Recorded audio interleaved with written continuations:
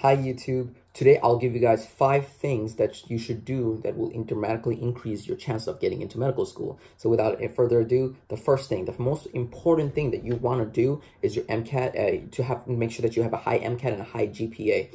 Um, every every every medical school have this cutoff for MCAT and GPA. They always tell you that they do this holistic approach, but it's they don't do that holistic approach until you meet the MCAT and GPA requirements. You have to understand that thousands of applicants are applying each year to these medical schools, and these people who are in the medical school board and the committee are also human beings. They're not going to go through all these all thousands of applicants all at once. What they do is they use this weed out process to eliminate some of the applicants, and they do that that by looking at your GPA and your MCAT. Even companies that if you if you apply for any jobs, even companies does that. Um, they have keywords, certain key skills that they want each of their candidates to have. If you don't even have those, they're not going to even look at your resume. So med school, believe it or not, does the same thing, but they do it with your MCAT and they do it with your GPA. If you're in Texas, um, most of the don't quote me on this, but most of my friends who got accepted to Texas Medical School, all their GPA, all of their GPA were above like 3.5 and above, and their MCAT score was roughly sitting around 508 to 510.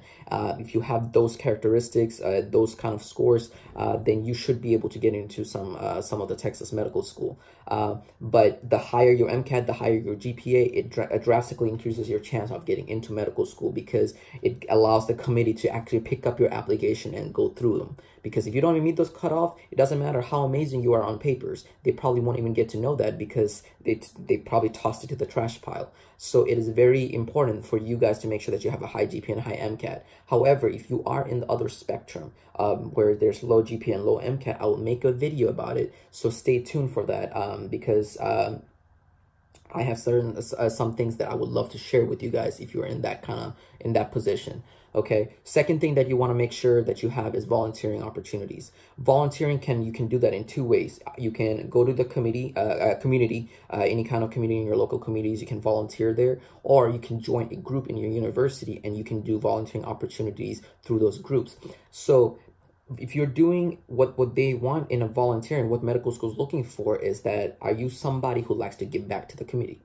uh, uh, community. So are you somebody, you know, who who is open to doing public service? Because medicine is a public service. You are servicing the population. So they want to make sure that you have that skills. These are not skills that you're born with. It's something that you have to develop. And the way you develop these skills is by doing it firsthand. So you want to make sure that you have volunteering experiences. Join a group in your university. You don't need to join four, five, six groups. Join at least two or three and you make sure that you stick to it.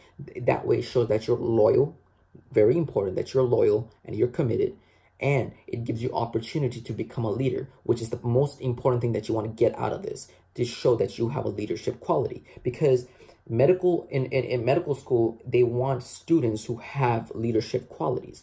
Um, as medicine is going toward a more team-oriented uh, field, uh, they want physicians who are able to communicate effectively, who is more approachable socially, and who can also take leadership roles if the time demands. And the only way you will be able to get or, or under get these qualities is by joining uh, groups at your university and volunteering in communities. You also want to make sure that you volunteer in hospitals because in that way it shows medical school board that you know what you're getting yourself into. You know the lifestyle of a physician. You're not just getting in because you had this dream when you were a child and you wanted to get into medical school. Although if you have it, great, but most of the time, you know, our dream changes as we grow up. So they want to make sure that they know they know that you know what you are getting yourself into and you're still committed and is still motivated and you won't be able to show that if you don't have any kind of interaction uh, action in a in a hospital. And the best way to do that is volunteering. They're always hiring volunteers at the hospitals, uh, especially ERs or your local clinics, uh, stuff like that. Always go check it out and see that you can volunteer there. They're always open for volunteering. Nobody turns down volunteering volunteers. It's a it's it's a free work. You know, you're you're providing service for free. Nobody turns that down. Uh, if you look hard enough, I mean, there are protocols maybe that you have to do if you're applying for hospitals. You know, go apply online and blah blah blah. But it's highly likely that you will get rejected. So go and volunteer. It is very important to do that. Third thing you want to do is research. Research is extremely important. Uh, and I'll tell you two reasons why it is very important. First, and the uh, and the first reason is that what everybody tells you is that if you the medical medical school wants to know that you are open to research. You know you want to be able to contribute to the society of medicine. You want to be somebody who's uh, they want somebody who's knowledgeable. They know uh, uh, you know they're open to new ideas uh, or finding answers to questions that medicine still doesn't know. They want somebody who who has that kind of mindset because you will be researching also in medical school. Um, eh, believe it or not it, it, it, it, it is there to boost your resume when you're applying for residency. So they you're you're also going to be doing yeah so you're going to be doing research in medical school. So they want somebody who already is exposed to research it will be easier for you to get yourself into research in, in medical school if you were already exposed to research in, during undergrad. Second reason why research is going to help you out because of MCAT. You, all your passages or most of the passages MCAT are research-based articles. If you are not good in research, you're not going to be good at reading research articles. So it is very important that you expose yourself to research uh, uh, early on in undergrad so you are able to read tons of research articles. When you're going to be joining research, uh, any kind of research in undergrad, they will make you read research articles to educate you about the topic.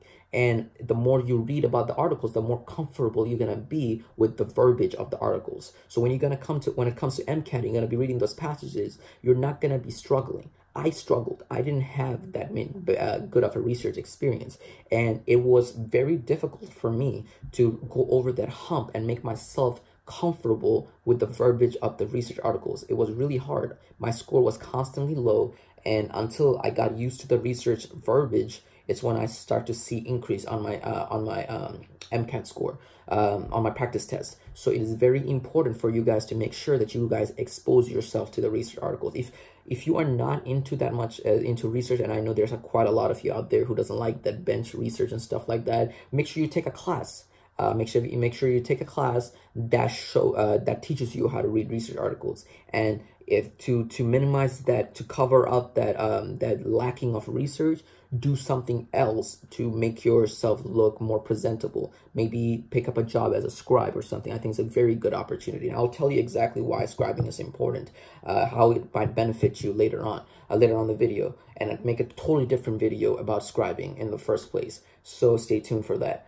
Um, so you want to make sure that you, these are the two reasons why I want you to expose yourself to research, the idea of research, because it helps you on your MCAT and it boosts up your resume for medical school and it shows that you are uh, open to uh, the idea of giving back to the society of, uh, giving back to the med medical society and, uh, you know, have the mindset of discovering unanswered questions that medicine still doesn't know, right? So, that, you know, early on in undergrad, make sure you expose yourself to research fourth thing you want to do is get good recommendation letters.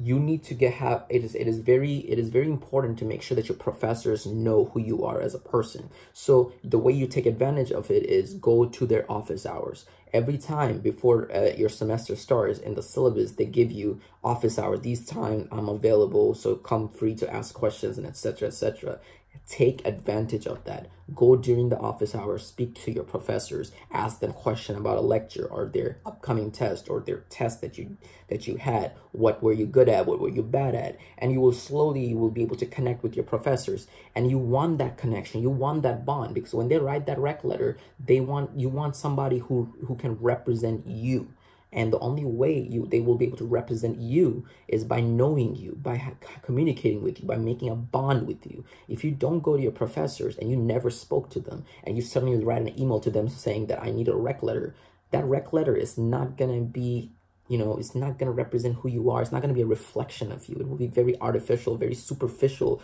rec letter that they write to every student. And it's not going to be special. And it's not going to, it's not going to be impressive enough for you to get into medical school or show you that who you are as a person. So go and spend some time with your professor during their office hours and try to connect with them. Try to ask them questions. Get to know them right? You also want to get recommendation letters from doctors. This is where the scribing thing really helped me out because I was a scribe and I was, when I was a scribe in an ER, I was exposed to bunch of doctors and I was able to bond and connect with many of those doctors and many of those doctors uh, who I bonded with wrote me rec letters. So I, uh, you know, like that was very fortunate because they knew who you, who I was as a person, uh, as a person. They know what I was. If, uh, if I, I, they knew that I was efficient, I was effective in certain tasks. They, they, they saw me as a, you know, they saw me as an individual that they knew for a very long time. So they were able to write really good rec letters that reflected me as a person.